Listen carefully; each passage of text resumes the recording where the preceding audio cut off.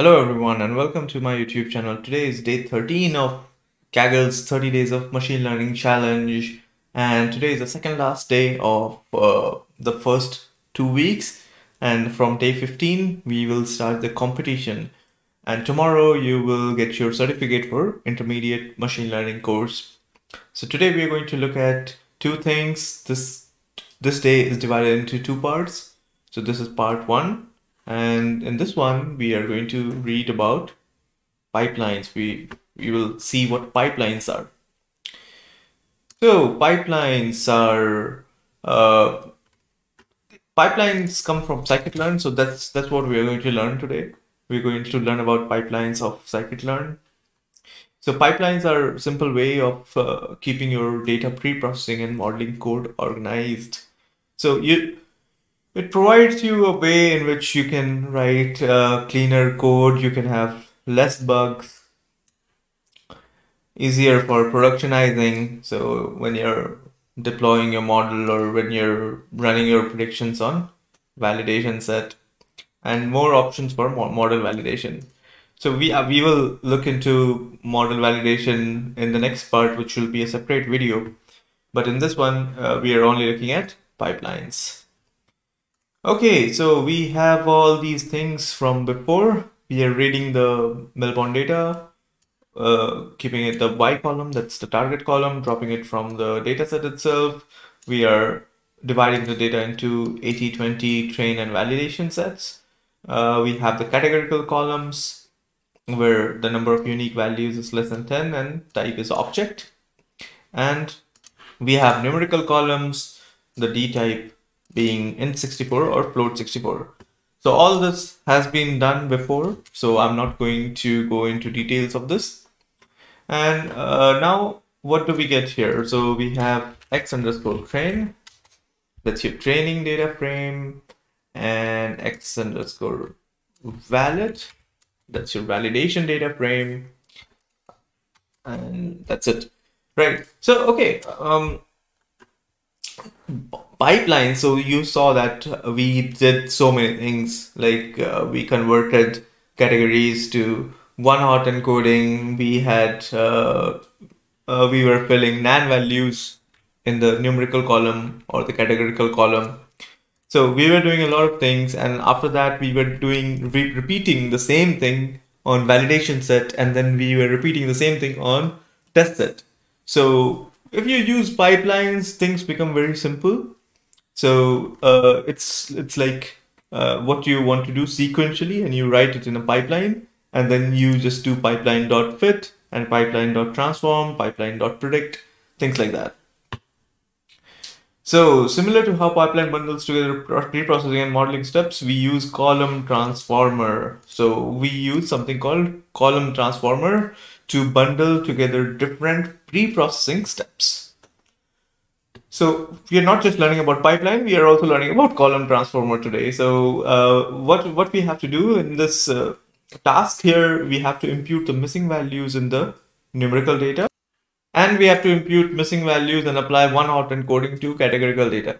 So we have seen how to uh, impute missing values in uh, numerical data so we will also learn about categorical data and I've already shown you that if, if you if you want to revise you can just take a look at the scikit-learn documentation.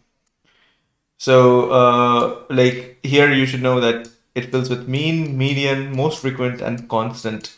So constant is just replace missing values with some fill value and fill value is usually none. Okay, so we have the numerical transformer where I have an imputation strategy of constant uh, and we have a categorical transformer. So now categorical transformers have uh, has multiple steps. So uh, the first step would be to impute the values with the most frequent value. So since it's categorical data and then once you have uh, imputed all the data, you can uh, do one hot encoding. So here you see um, this is a tuple and the first value in the tuple is the name so it can be anything imputer or my imputer okay uh, and again, the first value in the next tuple is also um, a name, and then you write what you want to do. So like here, we want to do one hot encoding. Here, we want to do simple imputation, but these are steps and these are sequential, and that's why we enclose them in a list. Okay, and then we add a pipeline right uh, before it. So we import from sklearn.pipeline, we import pipeline, and pipeline constitutes of these two steps for our categorical transformer. But these two steps are pre-processing of our columns. So we use something called column transformer uh, from scikit-learn.compose and column transformer takes these two transformer steps. So your first is numerical transformer, second one is categorical transformer and numerical transformer is defined here a numerical transformer should use numerical columns, which is defined here. And similarly, you have the name cat or anything. Uh, and uh, here you have the categorical transformer, which is defined here, and categorical columns, which is defined in the cell above here. So I hope everything till now is clear. And uh, yeah, now uh, we have the preprocessor, which has all these steps. So you can just print it and see. So what it does, it has numerical uh, simple Im imputer um, for, uh, it has numerical strategy for uh, numerical transformer and uh, which uses a simple imputer on these columns. It has Uh, the categorical uh, transformer, which uses uh, a pipeline in which we do simple imputation first and then we do one hot encoding on these columns. Okay, I know that might be a lot to digest, but uh, when you break it into pieces, it becomes much easier to understand. Categorical transformer, you do steps, then you do pipeline, numerical transformer. You can also do steps here, but you don't, you, we are not trying to do anything there. And then you have the column transformer in which you just add the transformers, which can be pipelines, which can be simple functions like uh, imputation. And now we import the uh, same old random forest regressor and uh, we initialize the model. And now we can create another pipeline. So another pipeline has the preprocessor step and the second step is the model. So all all these things that you're putting here should have dot fit and dot transform and or dot fit and dot predict dot predict proba these kind of things. If it doesn't have that it's not going to work in the pipeline. You will know because it's going to give you an error. So now we built a pipeline with our preprocessor and the model uh, which is a list of uh, tuples.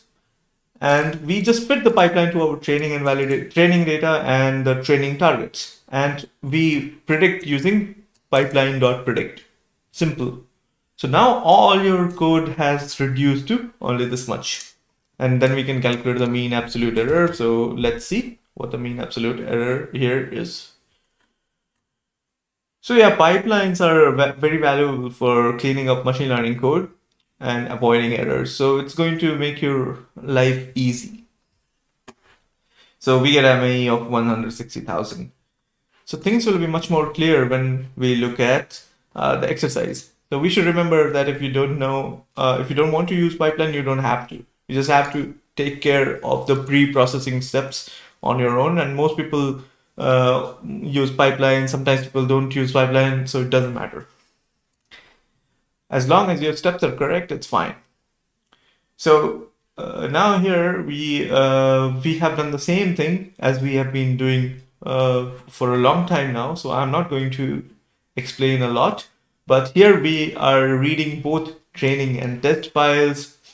So then we are dropping the sale price column. Our sale price column is the target. We also drop it from, um, uh, uh, we also drop the sale price column after we have selected the target here.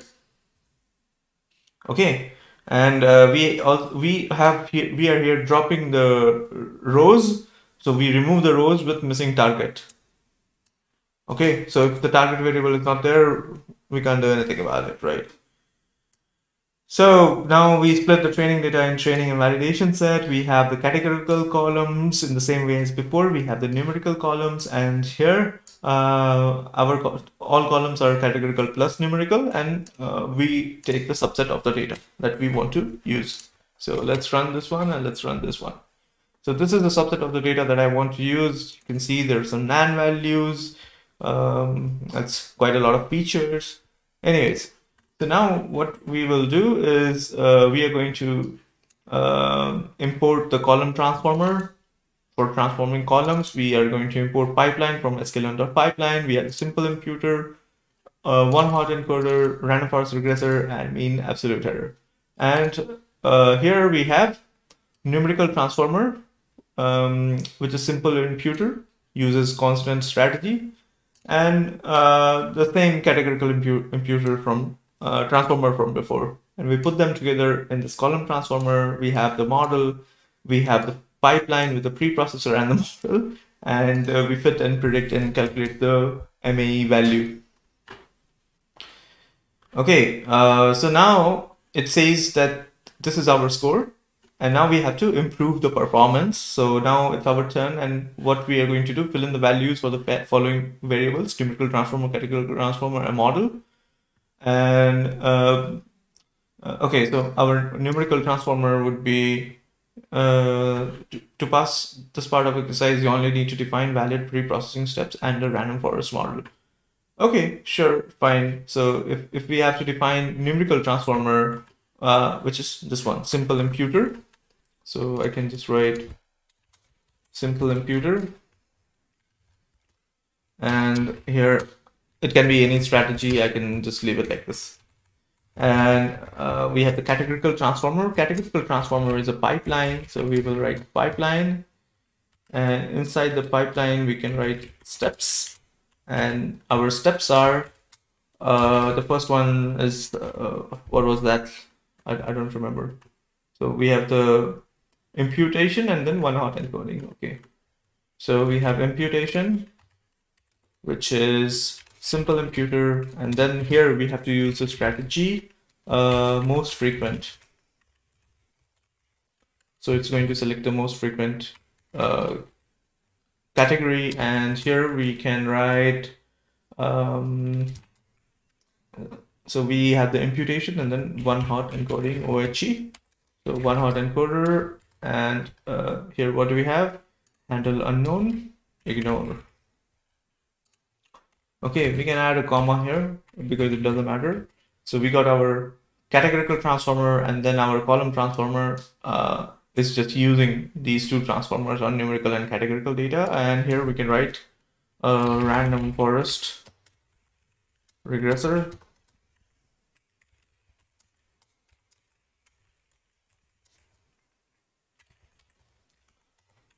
Whatever, 500 random state is 42 okay.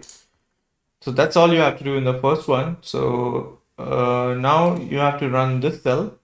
And now you have to define a pi pipeline that achieves a lower MAE than the code above. Okay. You're encouraged to take your time and uh, you can try out different approaches. Yeah i mean it's fine. So let let's just run it and see what happens so here we have the pipeline, um, which is the preprocessor. So let me just define all everything again in the new cell so that we can see what we are changing and we don't have to run two cells.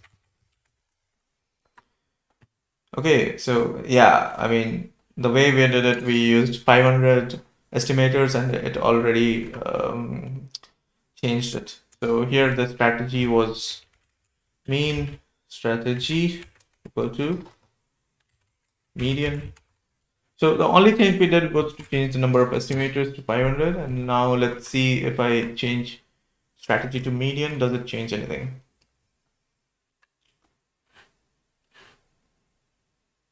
Okay, now while it runs, uh, here, now here, here you can just write, so 17366, okay, that's fine. And uh, here our pipeline, so if you want to generate your predictions on the test set, you just write my pipeline x underscore test. Okay, my pipeline dot predict, and then you're done. You don't have to do all those steps again and again and again. let's create the submission and see um, if we improve on the previous course. I, I don't believe we will, but let's try. Because it's uh, the MA is quite large, it's 17,000 something. Okay, I have saved the file and here now I can submit the predictions. So let's see, here it is. And okay, let me try that again. Okay, now it's running.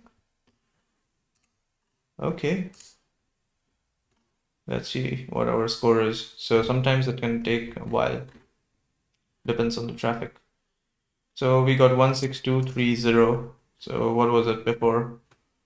Uh, 15334, 16230. Yeah, so uh, not not that much of an improvement but can we can we improve it without changing a lot of things?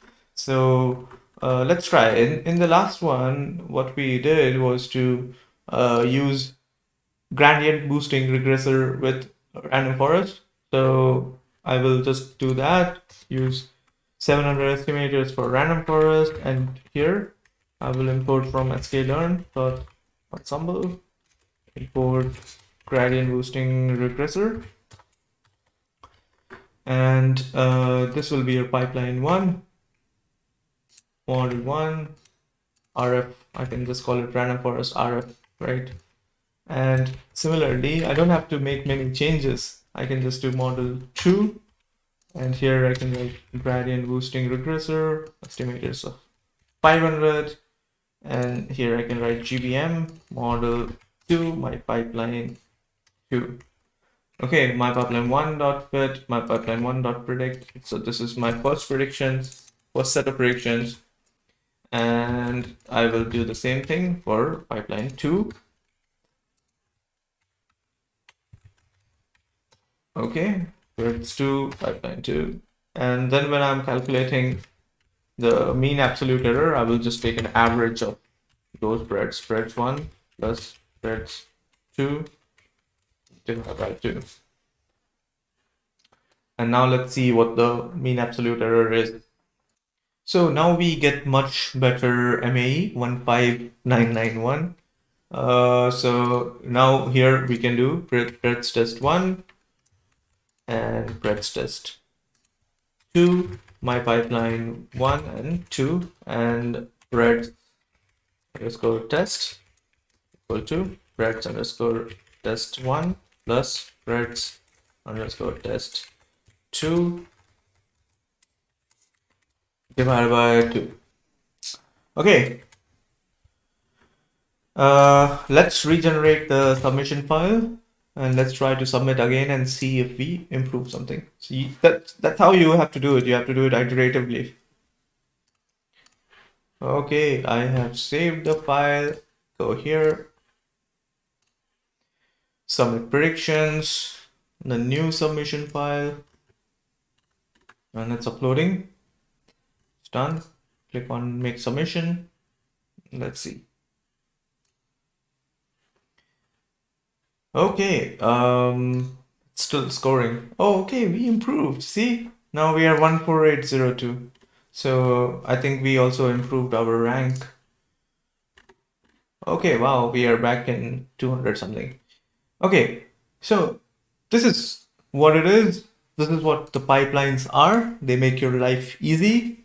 So now it totally depends on you if you want to use them. If you don't use them, this you have to make sure that you perform all these steps for uh, both training set, validation set. But that's sometimes it's not much difficult to uh, just ignore pipelines. Uh, but if you if you want to write like uh, short code, uh, you should use pipelines. But anyways, totally up to you. Now we will go to part two. So thank you very much for joining today and I hope you like the video. If you do like it, do click like, do subscribe and tell your friends about it. And see you in the next one. Bye.